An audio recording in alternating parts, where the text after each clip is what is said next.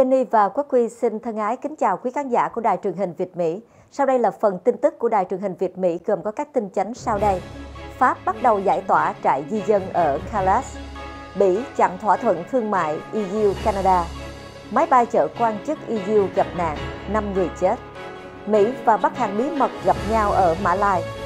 Hoa Kỳ vẫn là đồng minh vững chắc của Philippines. Nhà hoạt động phản chiến Tom Hayden qua đời.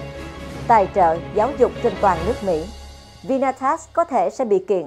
Và sau đây là phần tin chi tiết và được mở đầu với quốc quy với phần điểm tin thế giới.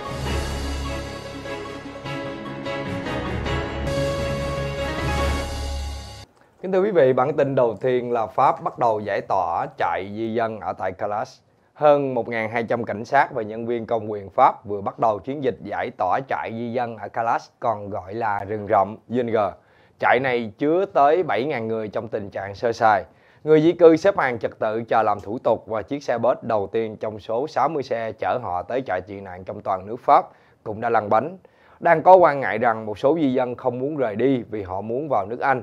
Và dịp cuối tuần qua đã xảy ra vài cuộc đụng độ tại trại Calais sẽ bị giải tỏa hoàn toàn vào thứ Ba 25 tháng 10. Anh Quốc đã đồng ý nhận một số khoảng 1.300 trẻ em không có người giám hộ từ trại Calais. Người nhập cư xếp vào các hàng riêng để xác định xem ai có gia đình, ai chỉ có một mình và liệu họ có thuộc diện dễ bị thương tổn hay không. Sau khi làm xong giấy tờ, họ sẽ được chở tới các nơi khác nhau ở Pháp và làm thủ tục xin tị nạn. Nếu không được tị nạn, họ có thể bị trục xuất. Giới chức Pháp đã sắp xếp 7.500 giường cho người di cư tại 450 trung tâm trong nước. Các quan chức ước tính có khoảng 2.500 người sẽ rời trại Kalash trong ngày thứ Hai, 24 tháng 10 vào lúc 5 giờ sáng giờ địa phương. 3 giờ trước khi chiến dịch giải tỏa bắt đầu, các nhóm di dân và tị nạn đã bắt đầu xếp hàng. Sau đó hàng trăm người đã đổ ra từ trại và đứng dọc đường phố chờ xe bus tới đón chở họ đi. Cuối một hàng là Adil, người Sudan, đứng chờ có hai túi to, một quả bóng đá, một chiếc đàn guitar. Anh nói, là giấc mơ của tôi chết rồi, những người ở đây ai cũng đau khổ. Trại Calais là một nơi xảy ra đã nhiều vụ xung đột và bạo lực.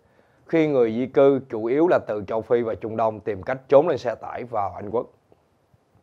Chặn thỏa thuận thương mại EU-Canada, Thủ tướng Charles Michel cho hay vì bị dân vùng Wallonia phản đối, Bỉ không ký được thỏa thuận thương mại tự do quan trọng giữa EU và Canada.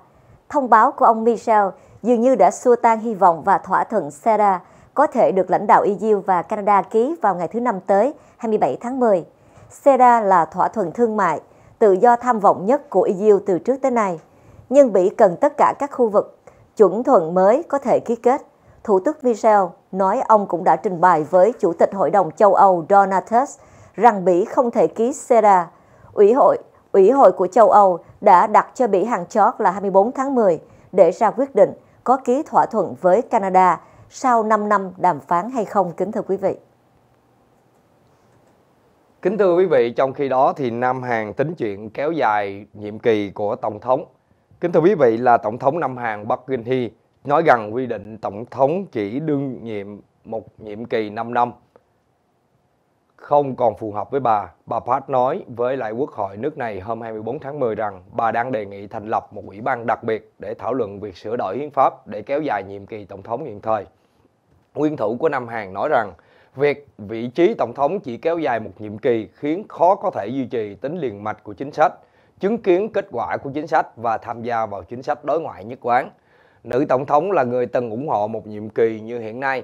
Bà Park lại cho rằng điều đó khiến khó có thể đối phó với lại đối thủ Bình Nhưỡng vì liên tục tăng cường kho vũ khí hạt nhân. Nam Hàn thông qua nhiệm kỳ tổng thống duy nhất kéo dài 5 năm khi nước này chuyển đổi từ chính quyền quân nhân sang độc tài, sang một nền dân chủ toàn diện. Và các nhà quan sát cho rằng bà Park muốn chứng kiến việc sửa đổi hiến pháp trước khi nhiệm kỳ của bà kết thúc vào năm 2018. Anh đã bắt được nghi can trong vụ khí độc tại phi trường London. Cảnh sát Anh vào ngày 24 tháng 10 loan báo đã bắt giữ người đàn ông 25 tuổi có liên hệ tới sự việc khiến hàng trăm hành khách phải sơ tán ra khỏi sân bay thành phố London hôm thứ Sáu tuần trước. Nhưng vụ này không có liên quan tới khủng bố. Cảnh sát London cho hay đương sự bị bắt vì tình nghi dùng một chất độc gây thiệt hại trầm trọng, vi phạm luật an ninh, chống khủng bố và chống tội phạm năm 2001. Một thông cáo của cảnh sát sau đó cho biết vụ việc không được giải quyết như một vấn đề có liên quan đến khủng bố và sẽ được Sở Cảnh sát Hàng không điều tra. Cảnh sát nói vụ bắt giữ diễn ra hôm thứ Bảy tại khu vực phía đông London.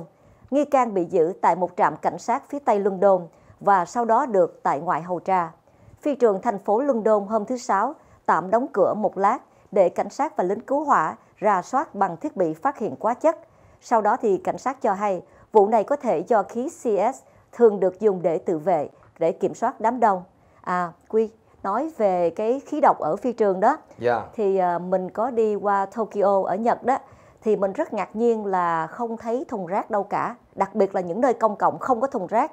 Mình rất là bị bực mình là bởi vì đi đâu mình cũng phải cầm rác theo tại không dám bỏ rác bậy bạ tại vì mình cũng thấy là mất mặt quá cho Dạ. dân Á Châu mình đi bỏ rác bậy bạ cho nên mình cũng cầm rác theo all the way anh thấy khó chịu lắm nhưng mà sau đó mình mới research lại tại sao nước Nhật ở những Ờ. nơi không có thùng rác là vì lý do là họ đã bị ờ, cách ờ, hồi cách đây cả 10 cũng trên dưới 10 năm thì họ bị là chất độc Ờ, họ bị cái vụ khủng cái khủng bố mà gì, chất à, độc bỏ vô chất trong cái thùng rác. á. Yeah, Dạ, họ dạ. bỏ vô thùng rác cho nên that's why bây giờ người Nhật họ chống khủng bố bằng cách là tự người Nhật phải lo về rác của mình chứ không phải lệ thuộc vào thùng rác công Ờ, cộng tức, nữa. tức là Dạ. ai mà đi tới phi trường là có rác của Dạ. mình phải tự mang theo Và ngoài không ra mình đi tới châu Âu gần đây, tháng rồi mình đi châu Âu, À. mình rất là ngưỡng mộ một cách này mà tại sao Mỹ chưa chưa thấy có, tức là tất cả thùng rác công cộng ở châu Âu mình đi khoảng 3 nước, Anh, Pháp, Ý thì tất cả thùng rác đều chỉ là một cái vòng, một cái vòng bằng sắt ở trên, Ờ, cái vòng bằng sắt rồi họ rồi họ để bao cái bao ni lông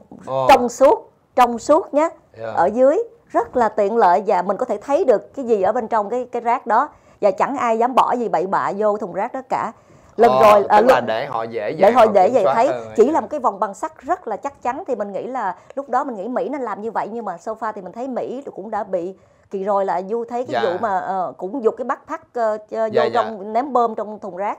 Hiện giờ Mỹ vẫn chưa áp dụng được cái đó. Mình nghĩ Mỹ nên làm như vậy để tránh khủng bố Ờ dạ về cái cái, thùng đó rác là đó, một trong dạ. những cái điều rất hay Rất đôi lúc có hay ở những cái Âu. rất là đơn giản nhưng mà Yes. mình mình lại không có có À thể nghĩ ra được ha dạ Ờ, kính thưa quý vị và bản tin kế tiếp một tin cũng rất là buồn là máy bay chở các quan chức của Liên hiệp Âu Châu gặp nạn 5 người chết có ít nhất 5 người đã thiệt mạng sau khi một máy bay được cho là chở các quan chức thuộc cơ quan giám sát biên giới của Liên minh châu Âu EU gặp nạn ở tại Malta. Independent đưa tin hôm 24 tháng 10 là một máy bay hạng nhẹ đã rơi ngay sau khi cất cánh từ sân bay Lupa ở Manta vào lúc 7 giờ 20 sáng ngày 24 tháng 10 theo giờ địa phương. Independent cho hay là theo và theo Guardian thì máy bay này được cho là chở các quan chức thuộc Frontex, một cơ quan phụ trách giám sát biên giới của Liên minh Âu Châu. Tờ Time of Manta dẫn lời một nhân chứng cho biết khi đang hoạt động trên trời, máy bay gặp nạn bất ngờ nghiêng về phía bên phải và lao thẳng xuống đất. Đây là loại máy bay hai cánh quạt do Luxembourg thuê lại để phục vụ cho các chuyến công tác của các quan chức của Frontex. Đoạn video quay lại từ hiện trường vụ tai nạn cho thấy là một đống đổ nát đang bốc cháy và cột khói đen bốc nghi ngút lên không trung. Vụ tai nạn được cho đã khiến cho toàn bộ thành viên trên máy bay thiệt mạng. Giới chức Manta cho biết là máy bay gặp nạn đang trong hành trình tới thành phố Misrata của Libya và hiện vẫn chưa có thông báo xác nhận về quốc tịch của năm nạn nhân.